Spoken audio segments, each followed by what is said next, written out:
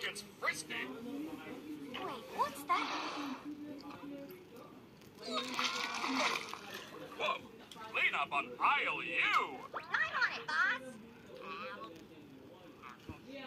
Why am I like this? Wait, wait. Was that an exit door I saw out there? Is that a way to leave? What exit? If there was a way to leave, I'm pretty sure we'd have all left by now. Yeah, what are you talking about?